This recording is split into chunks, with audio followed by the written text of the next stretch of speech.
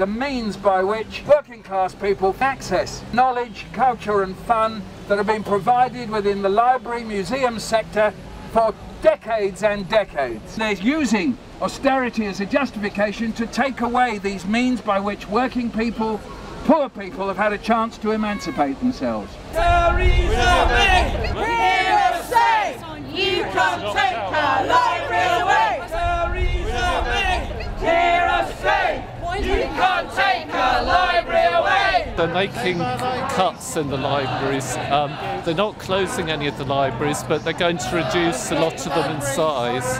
Parts of the buildings will be used for other things, and four of the libraries are going to be community run rather than by professional staff. The library I work in will only be staffed for 15 hours a week. Under 15s won't be able to go into those libraries when they're unstaffed unless they're with an adult. So um, unaccompanied older children or who might want to go there to study or after school won't be able to unless it's staffed.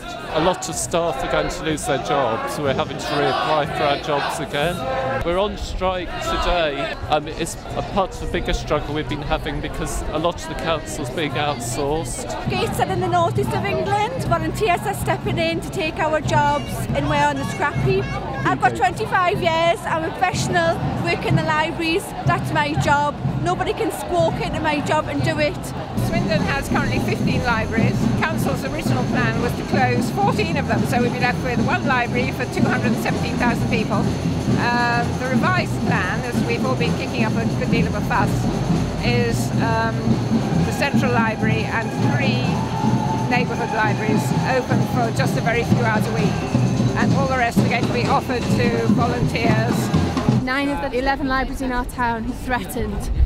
We are the oldest public library in the country, founded in 1848, I think it is. They're proposing to move Warrington Library from the site it's been at for 150 years into a redundant shoe shop in the main shopping centre where they will have to share the space with other services so they won't even have the whole space. The shoe shop doesn't have a toilet in it, it doesn't have a lift. It's not accessible to the elderly or the disabled. People have stopped coming into the libraries because they don't have new books. There are long waiting lists for the books that they do buy and after the consultation last year, they then cut back the opening hours dramatically, including in some libraries, they cut a third of the opening hours. One of the main proposals they've had is that they'll just have like um, mini locations where they do lockers, and so you will order your books like an Amazon locker. They plan, you know, you go and you pick them up. Obviously, your library's way more than just a locker. It's a safe space, an equal space that everybody can go and a place for communities to mix. As somebody um, elderly said to me, going to the library is their way of linking with other people, not just old people. They want to link with different ages and what have you. We're about to see universal credits come in, which means that all benefit uh, uh, applications and all information will be exclusively online. Libraries provide digital access to uh, people who can't afford or don't have internet access at home. We've got Labour Labour Council. Labour Council. It's just really Labour strange. Council cutting libraries. It's, it's a bizarre set well, of affairs. Really. Andrew Carnegie would turn over in his grave. Brent, sadly, as ever in the vanguard, uh, closed half of its libraries five years ago. Uh, we've been fighting ever since then to get them back. Uh, we've got four of them back in a way by continual political pressure, by annoying our councillors, by getting hundreds and hundreds of people to write, by making life difficult for them. But they're not within the public sector.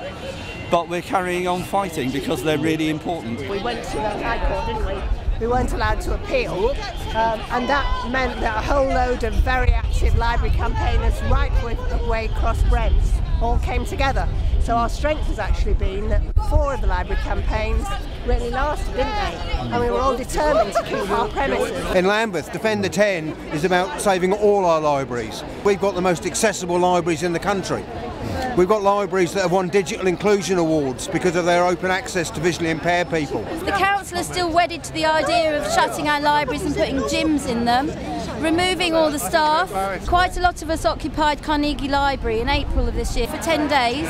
There's still a lot of us involved in the campaign. We're a really strong, solid core of people that aren't going away. What we've got is a council that are very, very right wing, right wing Labour, who very much want to show themselves as being responsible, you know, budgets have to be set. It's a kind of ironic thing because they're actually spending more money to get this through than they actually would save in the cuts that they want to make. Labour councils need to stand up to the Tories really and not do the Tories the Tories work.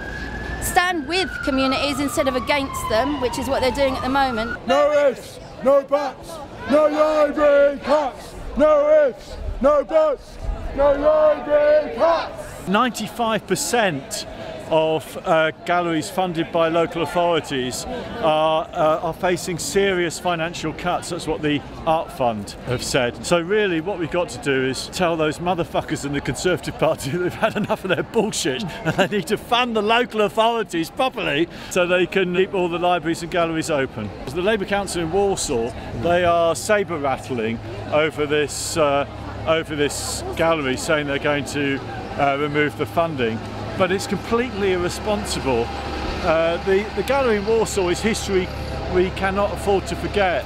It's all based around the collection of Jacob Epstein, and Epstein in the 1920s had his work daubed with swastikas. The Rhodesian government smashed up his work on uh, Africa House, and the Daily Mail organised petitions against his work for Walsall Council to threaten they're going to close that. They're involving us as a nation in a colossal act of anti-Semitism. Goebbels said to destroy a people you have to destroy their culture.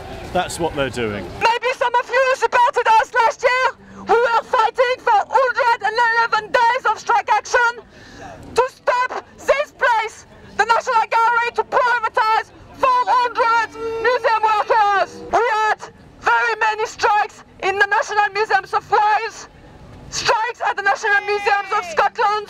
But what we need to do is put pressure on the Department for Culture, Media and Sport to stop those cuts happening.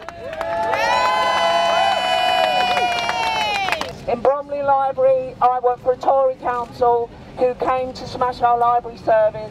Six of our small ones were going to be put into volunteers and the rest were being privatised. We've just heard we think it's to Carillion, which obviously is terrible news. We have so far had 13 weeks of strike action. Um, the volunteer threat has now gone. Bexley was um, in with Bromley to the privatisation. That is now gone. So we just need now to deal with Bromley Council.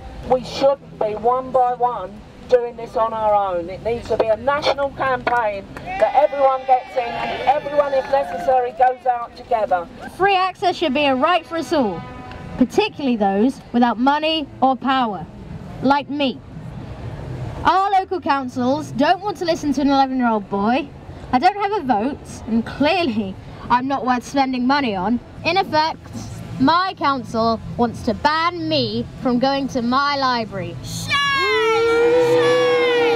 Now you can tell me that the councils are trying to save money and that makes sense.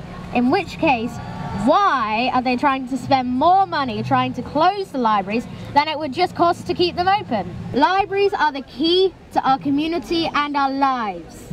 Interfering with them tells me that our councils do not really care about education at all. We welcome the news that Jeremy Corbyn supports our movement and it's great that he wants to invest in arts and culture and public services. But we can't wait until 2020, Jeremy. We need Labour councils like Greenwich to stop closing libraries now. We need them to stop privatising our services and we need Jeremy to come out and say that now. If Labour councillors aren't services, they should step aside for people who will. Yeah.